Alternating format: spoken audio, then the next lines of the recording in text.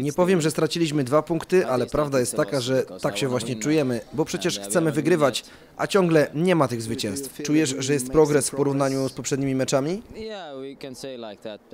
Tak, można tak powiedzieć. Przeciwnik nie strzelił gola, nie miał też tylu klarownych sytuacji co my. Może powinniśmy jeszcze bardziej zaatakować, ale to przyjdzie. Nie da się zrobić dużego skoku bez wykonania małego kroku. Yeah, but uh, it's coming. We cannot make big jump but before we make small steps.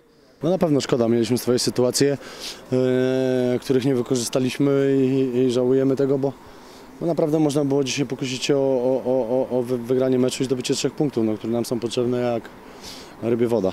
Przerwa świąteczna, później mecz e, z Pogonią. To jest tak, że wy chcielibyście już kolejny mecz zagrać za dwa, za trzy dni, żeby, żeby zdobywać punkty, czy, czy przyda nam się ta przerwa? Ja myślę, że popracujemy dobrze e, przez te dwa tygodnie i, i na pewno e, na ten mecz z Pogonią wyjdziemy silniejsi e, i, i, i zrobimy wszystko, co w naszej mocy, żeby zdobyć trzy punkty. Czyli- Czyli zapraszamy już kibiców na ten mecz z Pogonią. Pewnie, że tak. Zapraszam wszystkich. Mam nadzieję, że e, wojewoda nie zrobi psikusa i, i, i, i Torsida będzie otwarta. Że musimy wy- wygrywać, to, to jasne. Szkoda, że te dwie sytuacje, które mieliśmy, po prostu nie wykorzystaliśmy.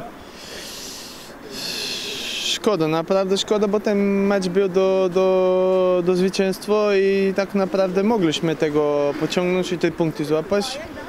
Ale tak jak jest, no jeden punkt zdobywamy, ale to jest bardzo mało i musimy więcej, więcej od siebie, więcej każdy dać że po prostu dalej to idziemy do przodu.